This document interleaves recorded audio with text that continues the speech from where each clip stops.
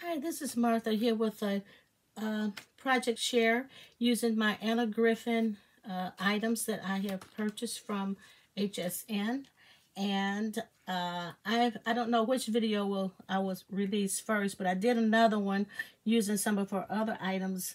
And I didn't want the video to be too long, so I broke it up into two. Okay, so today I used some more of her flowers.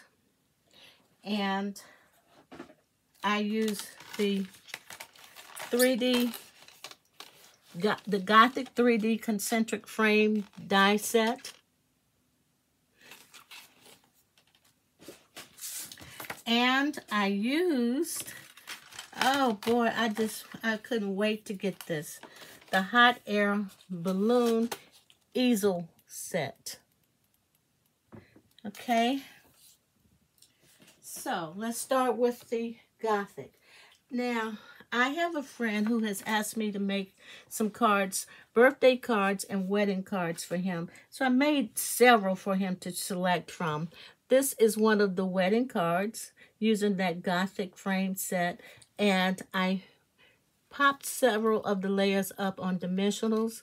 These flowers were just in my stash. I think I got them from the wedding section at Hobby Lobby. Not too sure and this is the inside.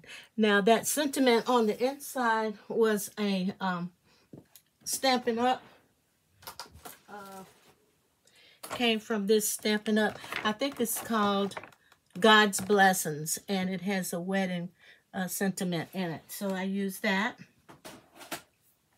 I love this card, and I put layered the inside with some more of those uh, dies from that set the, uh, the uh, Gothic frame set.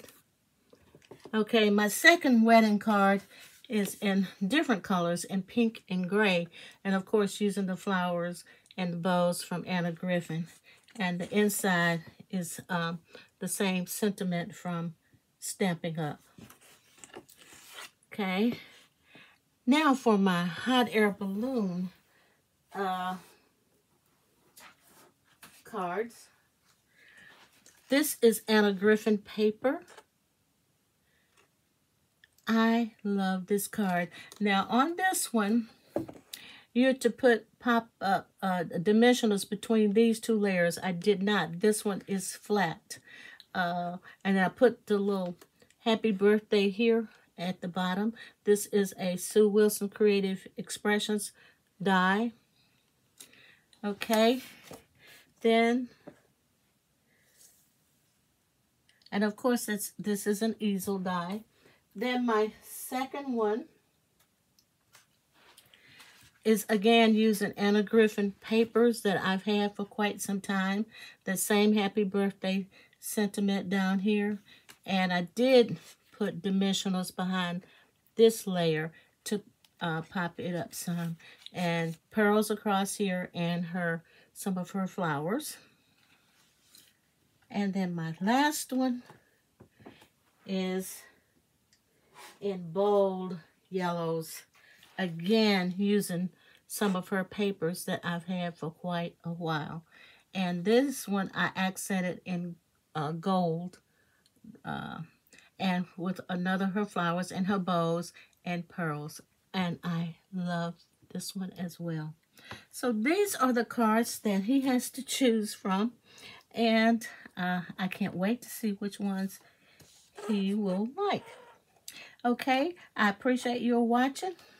If you like my cards, please give me a thumbs up. Uh, thank you for subbing. Thank you for returning. Stay safe, be blessed, and Todah.